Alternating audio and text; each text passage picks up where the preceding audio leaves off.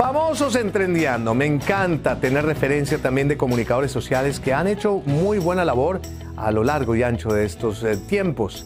Y esta es una hermosa presentadora que en su época también fue actriz y que hoy en día sigue siendo un referente importante. Milady Dao está aquí en Famosos Entrendiando.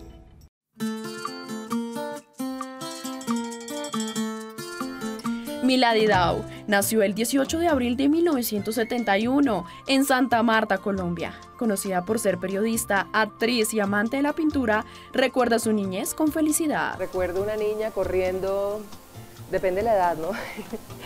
Pero eh, muy tranquila, muy libre de ropas en Santa Marta, como el clima lo permite. Eh, yo creo que eso me permitió ser una, una, mujer con un espíritu bastante libre o al menos ir en búsqueda de esa libertad. Eh, me veo, bueno, jugando en, en, la cuadra de mi barrio, eh, con mi abuelita gritando ahí en la ventana, ya es hora de dormir. bueno, infinidad de cosas, en el colegio también. Una infancia, la verdad, bastante feliz con mi mamá, con mis hermanos en un ambiente bonito. Una actriz que se ha caracterizado por viajar y conocer varios países, pero al llegar a Bogotá tuvo la oportunidad de realizar su primer papel para la televisión nacional. Eh, me tronché un pie el día de mi primera grabación. Me tocaba correr por una carrilera de un tren y e iba en unas botas con unos tacones así de grandes y me caí me caí, entonces eh, fue un recuerdo muy chévere porque en el momento no sabían cómo hacer para sacarme el zapato porque el pie obviamente se hinchó, pero, pero sí fue, un momento agradable. Yo creo que en el momento ni siquiera pensaba en, lo que me estaba pasando, sino que era mi primer capítulo, mi momento soñado. Em, fue la verdad, yo creo que eso superó cualquier cosa, cualquier dolor y cualquier problema. Para la Samaria, su familia y amigos fueron pilares importantes a la hora de incursionarse en el mundo de las artes escénicas, pues su incertidumbre la había llevado a alejarse de la actuación. Yo en el colegio, desde muy chiquita, yo creo que desde los 10 años más o menos, yo ya estaba trepada en una tarima haciendo de todo. Yo eh, teníamos, me acuerdo que la primera, la primera actuación que yo hice fue en el colegio, en ese entonces, hace mucho tiempo, estaba de moda esta novela, Gallito Ramírez, y a mí me tocó hacer de la mencha. Creo que me hicieron una cantidad de trencitas en el pelo y ese pelo me quedó así de alborotado. Y bueno, esa fue mi, primera aparición y, y, fue donde yo dije, esto es lo mío y toda mi familia también decía lo mismo, esta va a terminar en la televisión, a como de lugar. Y cuando ya definitivamente, porque es que eso ocurre como en, dos etapas en mi vida. Primero yo soy presentadora de noticias, pero yo primero estudio actuación. Yo me vengo como 18 años a Bogotá y estudié actuación en la Academia de Ronald Ayazo, hice toda mi carrera ahí. Y luego, pues yo creo que estaba muy chiquita y no me sentía como preparada.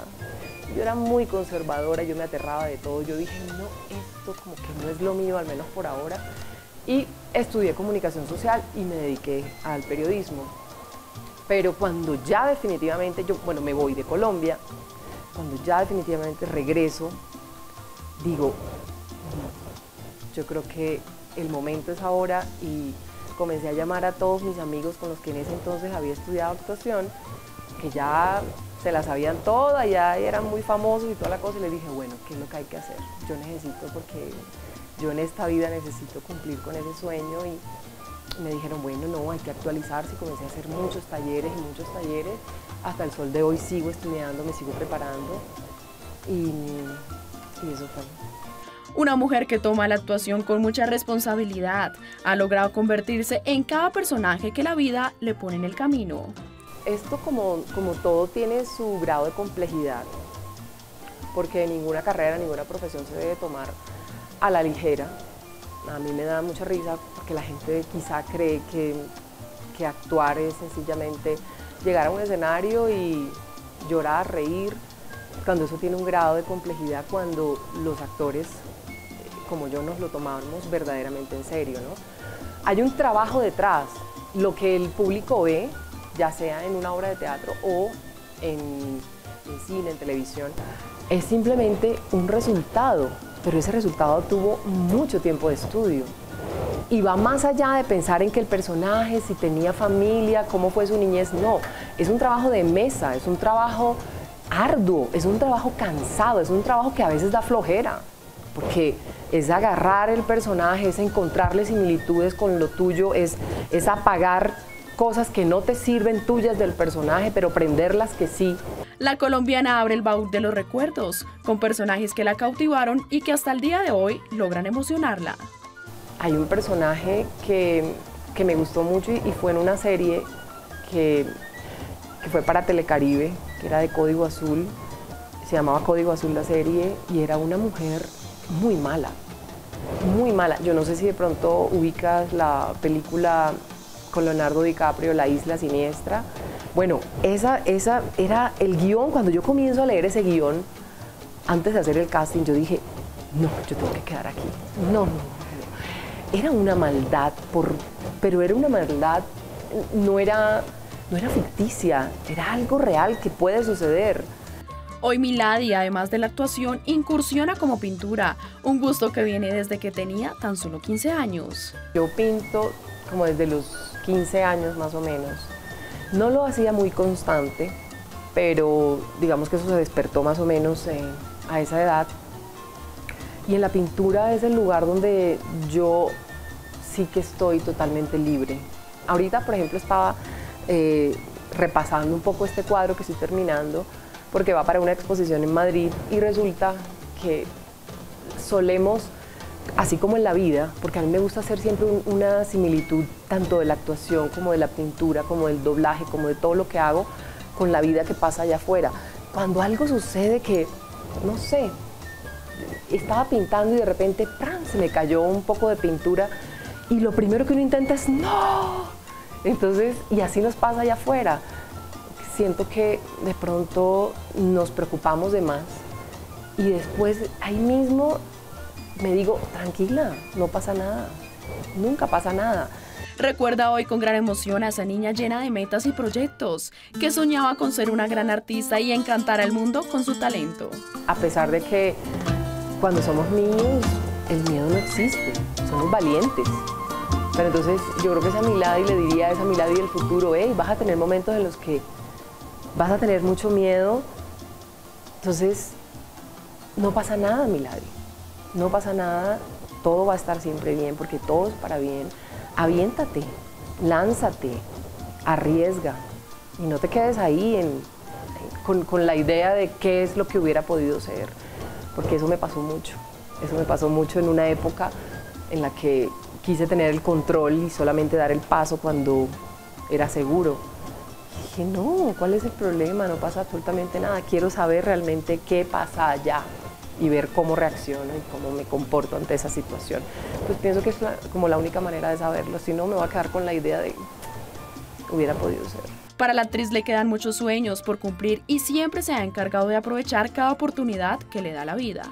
Me vino a la mente montar en globo, eso es lo que dice todo el mundo, pero, ay no, yo quiero como no irme a, a un sueño gigante.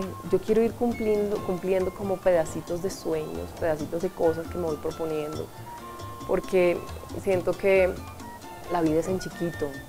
Siento que la vida que yo he construido ha sido el producto de, de pequeñas cositas que han ido pasando y que al final se volvieron grandes. Pero digo, ¿cómo lo hice? Pues con pequeñas cositas. Entonces digo, mi sueño realmente es estar siempre aquí presente, eh, no angustiarme por un futuro, no eh, entristecerme por algo que de pronto pudo pasar y no pasó.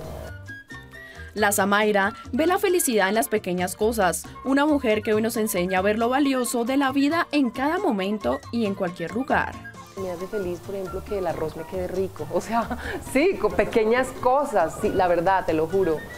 O sea, me hace feliz que de repente reciba la llamada de mi hijo que vive fuera.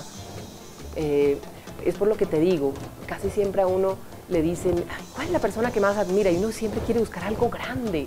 Te acuerdo que antes decían, la Madre Teresa de Calcuta. No, puedes admirar al portero que está abajo, que se aguanta, ese cipote frío que se aguanta todos los días y que sostiene una familia, las personas que admiro están a mi alrededor y las personas que me hacen feliz o las cosas que me hacen feliz están aquí, me hace feliz mi gato, mis gatos. Soy feliz con ellos, me hace feliz tomarme un café delicioso y salir al balcón y ver las montañas, porque amo las montañas. Amo las montañas de Valledupar. Ay, no. Ahorita que estoy grabando la novela, Dios mío, de verdad, tengo una fijación impresionante por las montañas. Para este segundo semestre del año, la actriz y presentadora busca cautivar a todos los televidentes con su nuevo papel en la novela Leandro Díaz. Un 2022 muy productivo para el artista, lleno de viajes, obras y mucho trabajo. Primero, el lanzamiento de la novela, pues el estreno ya, que es ahorita el 19 de septiembre y eso es ya en una semana. Em, eso me tiene extremadamente feliz. en este momento eh, está, se acaba de estrenar una serie en la que también estoy, que es de Disney, mm, que se llama No fue mi culpa. Ahí también tengo un personaje. Em, con, estoy haciendo doblajes para películas, es decir, le pongo la voz, trabajo con México y ahorita lo hacemos de manera remota. Em, con la obra, con los recuerdos de ella, que nos ha ido espectacular, de verdad. Tienes que ir, en serio. Tienes que ir porque la obra está increíble y hay, hay un proyecto de, viajar, no me han dicho, que me han dicho que no diga nada, pero hay un viaje internacional por ahí que se está... Sí, sí, la verdad es que imagínate una obra de vallenato fuera de Colombia, donde hay una comunidad eh, de nuestro país allá y uno se vuelve loco. Yo que he tenido la oportunidad de vivir fuera de Colombia y cuando uno escucha algo, uno, uno se vuelve loco. Entonces, Em, ese sería un sueño por cumplir, que los recuerdos de ella esté en, que trascienda pues todos los límites. La artista le da un mensaje a sus jóvenes y niños que quieren incursionar en el mundo de la actuación, un camino de altas y bajas que forjan el talento. No, primero que si están totalmente seguros de, de la decisión que van a tomar, que se metan con todas pero que estudien. Porque sí es cierto y sí creo que nosotros sí nacemos con, con unas habilidades, con un talento, pero es necesario pulirlo, es necesario eh, consentirlo, nutrirlo. Entonces, el estudio, yo soy de las que pienso que lo que hiciste ayer está perfecto, pero eso ya no sirve. Tienes que estar actualizándote porque el mundo está cambiando, porque cada vez hay más cosas. Entonces no nos podemos quedar con la idea de, sí, yo estudié actuación en el 89 creo, y ya, ya considero que ya, no, porque la actuación misma ha cambiado. Hay muchas técnicas. Entonces, eh, para todos aquellos que desean eh, cumplir ese sueño, que no dejen de estudiar. Hola, ¿qué tal amigos de Trendiando? Quiero enviarles un saludo calurosísimo, bien, bien, bien, bien así apretadito para todos ustedes y quiero invitarlos para que no se pierdan esta entrevista, para que conozcan un poquito de mí, se diviertan un poco y también para que me sigan en las redes. Un beso muy, muy grande. Presentadora, actriz y pintora que con sentido del humor y su talento ha logrado cautivar miles de corazones dentro y fuera de la pantalla chica.